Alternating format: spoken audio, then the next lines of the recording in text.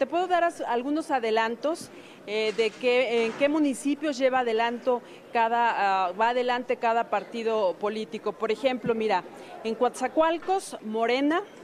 en Cuautepec, Morena, en Córdoba, también Morena,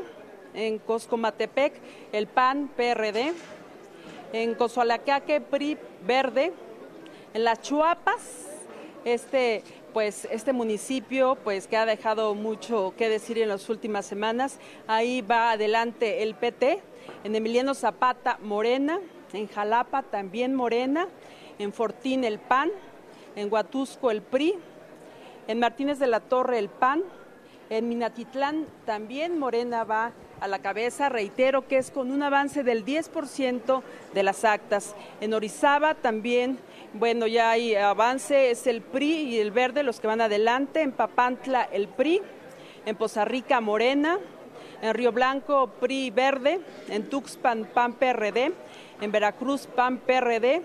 y en Jico, Morena. Son los datos que hasta el momento te puedo mencionar, son algunos de las presidencias municipales más importantes. Hay que recordar que el año pasado en la presidencia donde se eligió gobernador, pues Morena tuvo un avance importante porque ganó en siete de los once municipios más poblados, entonces ese es un dato que pues llama la atención porque seguramente se va a repetir esta numerología en estas elecciones. Eh, seguramente como a las 11, 11 de la noche ya tenemos un avance pues más sustancial como para hablar de otros municipios y ver el, avance realmente de Morena y en qué condiciones queda el PRI